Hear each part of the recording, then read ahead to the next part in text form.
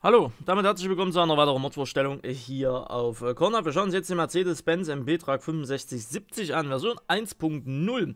Das Ganze wurde konvertiert bei Bertel 123, Grundmodell stammt von Bernie 456, Sound von Peter Aha.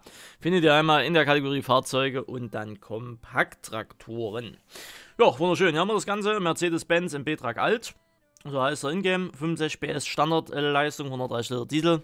40 km Max-Speed für 38.000 in Anschaffung, 1938 im Leasing. Felgenfarbe kann geändert werden von Rot in Silber in Gelb-Grün. Und stehen mit Reifenhersteller, Reifenvariante, Design, Klimaanlage, Rundumleuchten, Arbeitsbeleuchtung, Terminalhalter und Terminals sowie Motorausführung und Frontladeranbau. Insgesamt 10 ganze Config-Blöcke zur Verfügung. Fangen wir erstmal an. Reifenhersteller standardgemäß Trelleborg mit Standard. Dann gibt es das Ganze noch als große Räder, als Forstbereifung und dann war es das auch schon. Michelin gibt es nur Pflegebereifung. Nokian gibt es nur diese Grünlandbereifung. Und dann sind wir auch schon wieder bei Trelleborg angekommen. Design ohne LU-Schilder, mit LU-Schilder. Sieht man dann dementsprechend hier, sollte selbsterklärend sein. Klimaanlage ohne Klimaanlage und mit Klimaanlage sollte auch selbsterklärend sein.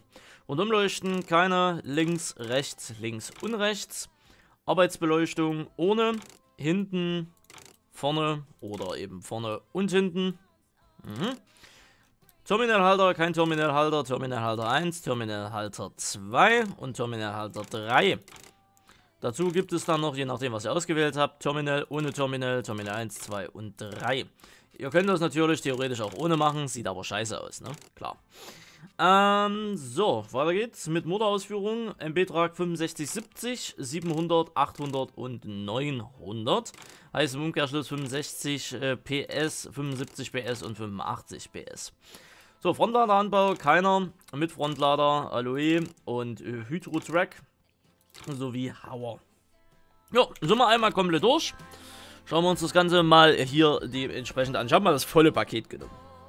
Also alles aktiviert, was man so aktivieren kann. Die Trelleborg-Reifen, hier in der Variante Standard in dem Fall, sehen top aus, genauso wie die Felgen, kann man eigentlich nichts dagegen sagen. Das äh, Logo vom Lohnunternehmen, das ist wohl ein Lohnunternehmen aus Bayern, logischerweise, wie man es unschwer erkennen kann, was hier mit so drauf ist, sieht soweit auch in Ordnung aus. Was halt prinzipiell so auffällt, die Texturqualität ist noch nicht so hundertprozentig das, was sie gegebenenfalls sein sollte. Ich meine, wir haben hier unten den Rost, also soll denke ich mal Rost darstellen, der ist arg unscharf, genauso wie hier diese einzelnen Teile und man sieht auch ein paar ähm, Pixelfragmente hier in der Textur drin. Ne? Ich weiß nicht, wie gut man es am Ende des Tages auf YouTube sieht, aber ja, okay. Ansonsten, vorne Mercedes-Stern, äh, Kennzeichen logischerweise mit dran, was schon mal sehr schön ist. Und dann eben die stinknormalen Leuchten. Wir haben hier oben die Vakio oder Va Echo, wenn man, wie man so mal ausspricht. Äh, Klimaanlage mit drauf, Arbeitslichter vorne, die ich da zusätzlich mit ausgewählt habe.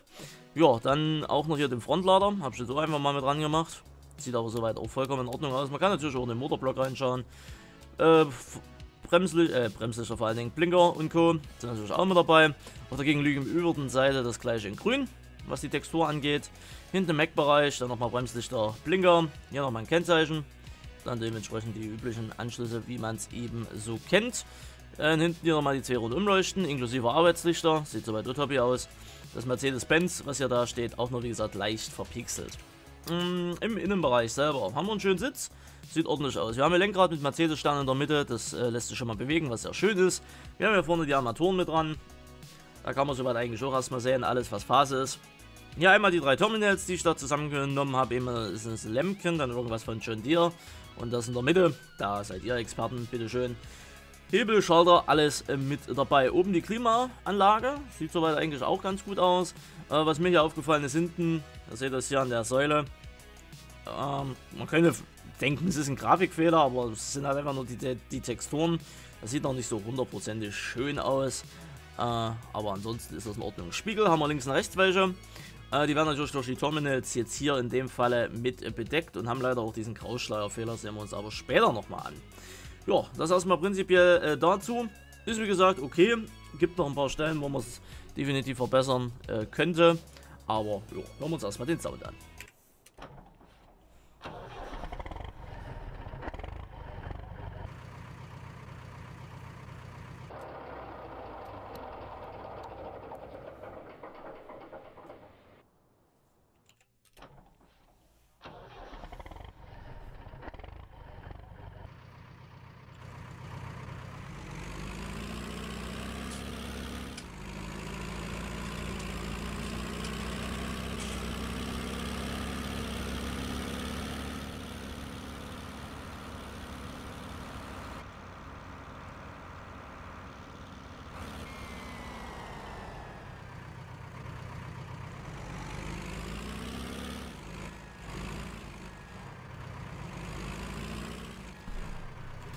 Ja, Sound hört sich wirklich sehr, sehr gut an, schön kraftvoll, ne? also weit, weit weg von den Standard-Sounds, die man dementsprechend sonst so kennt.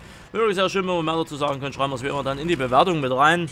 Ansonsten gibt es aber hier schon mal nicht wirklich viel dazu zu sagen, hört sich wirklich gut an, passend, wie man auch immer so schön sagt. So, kommen wir mal zum Thema Funktionalität. Ihr seht, unser Fahrer ist in dem Falle leider nicht animiert. Also zwei Hände hat er in dem Sinne am Lenkrad dran. Das sieht auch so halbwegs, äh, so halbwegs ordentlich aus. Aber jetzt hier unten an den Füßen tut sich momentan ebenfalls noch nichts. Wir haben vorne in diesen Armaturen da drin Glas mit drin, was zwar sehr schön ist.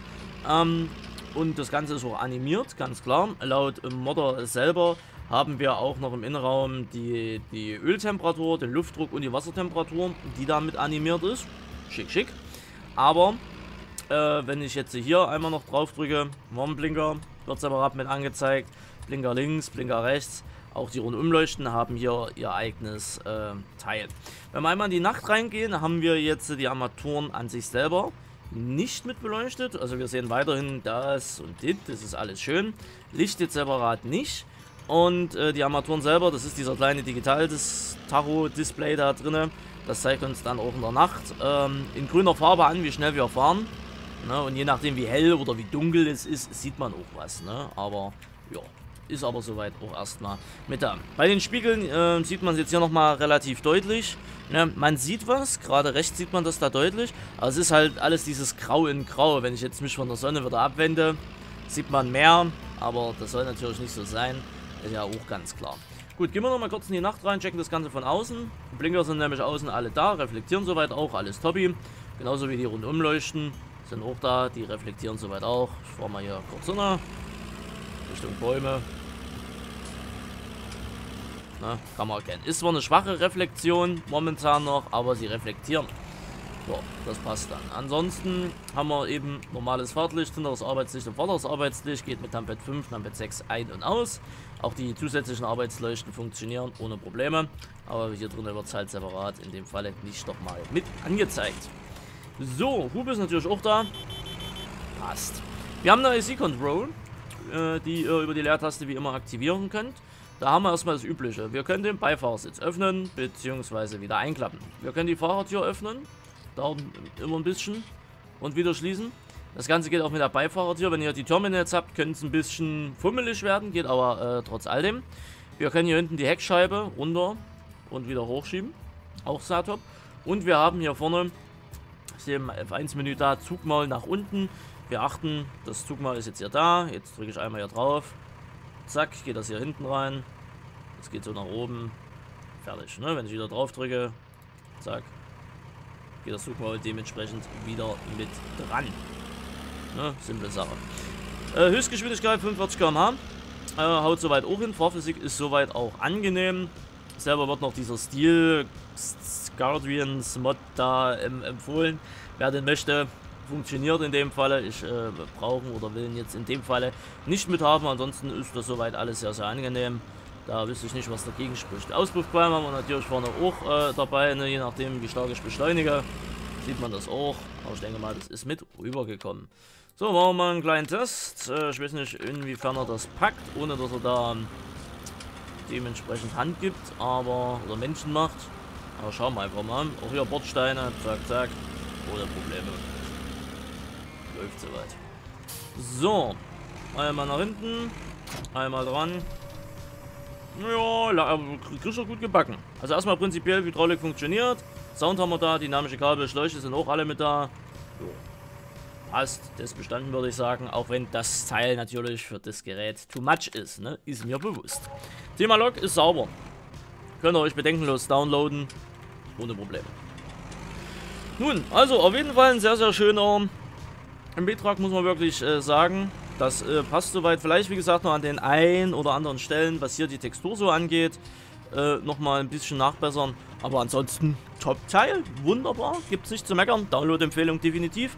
Download-Link inklusive Bewertung ist in der Videobeschreibung verlinkt. Ich danke wie immer fürs Zuschauen. Wir sehen uns im nächsten Video wieder, wenn ihr mögt. Lasst ein Däumchen und ein Abo da, wenn es euch gefallen hat. Und bis dann, haut rein. Tschüssikowski.